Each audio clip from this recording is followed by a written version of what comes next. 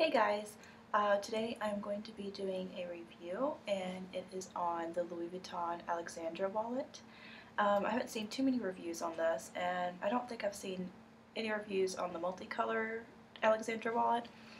Um, this they no longer make in multicolor. I was able to purchase this pre-loved um, but they still do have them in the monogram and um, in the Damier Ebene. I'm not sure if I think, yeah, they do have it in the Damier, Damier Azur as well.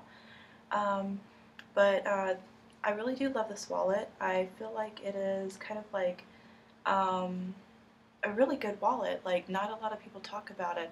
Um, you know, the most popular wallets, I feel like that LV carry that, you know, most people want are like the Sarah or the Zippy, Zippy Compact.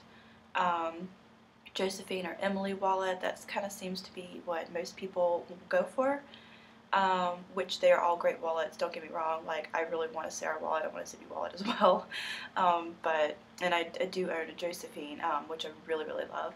Um, but I feel like you know this one, like people may ever look at for whatever reason. I'm not sure, but um, I really like it a whole lot. So I'm currently using this wallet and I'm doing so because I just recently purchased a Speedy 25 and I wanted, um, instead of using my Josephine wallet, to use something a little bit more compact.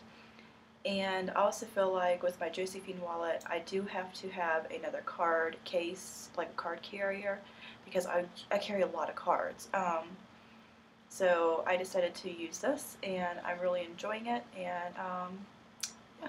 So this is what it looks like up close. Has the big button in the middle, which I absolutely love. Um, and then of course the canvas goes all the way around. So, you know, if you turn it around, if it's facing upright, then it's upside down because it's one piece of canvas.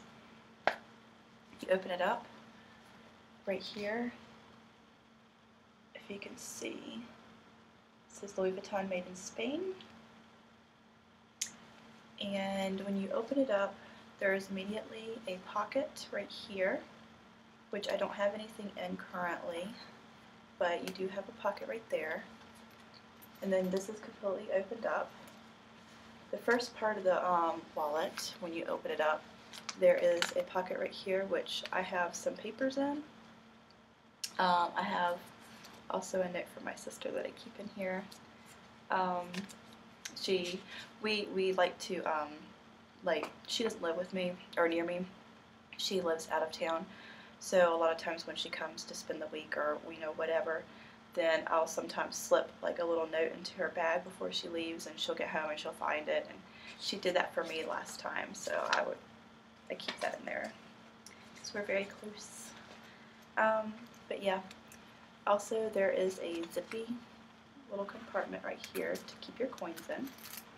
And I have a lot of coins in there right now, a lot, lot, lot, because I use cash a lot. Um, so you have this compact little compartment, you have the middle, and then you also have a com little compartment on the other side, which I just have some like little reward card thingies. And then it comes to, oops, to the middle part, and you have four slots over here and then four slots over here to put cards. You can also fit stuff in there as well, which is where I keep um, more important things, like, you know, like social security cards and whatnot. And then you flip it over. There's also another compartment that holds five cards over here, I think. Yeah, five cards. Um, and then you can also put a picture or you could put your um, ID in there. I just keep my ID right here because I keep my most important cards. The cards I use the most I keep right here. Secondary cards and then so on as it goes down. And then it also has an area, which mine's kind of got all kinds of stuff in here, um, to keep monies. Yeah, receipts as I'm shoved in there, but it's pretty big. You can fit a lot of stuff in there. So yeah, this is the wallet. Um, I really do love it, love it a lot. Uh, for anybody who's looking for a like more you know compact wallet, I would most definitely recommend this. I absolutely love this wallet. I'm so happy with it. Um, the only thing I don't particularly like about it is the fact that when you open it up, as you can see, all the cards come up here. So, um, you know, the cards are all like on this side right here. So when you close it, if you have a lot of cards, then this side where the cards are, is more bulky um, than this side. But what I do is um, I like kind of like just go like that with my change and when I close it, it feels a lot more even. But I kind of wondered why, you know, you would see the Alexandra wallets and they kind of be like, um, it, it would seem as though this side was raised up a little bit more than the other side, and that is why, because it's filled with cards and there's nothing over here to help bulk it up.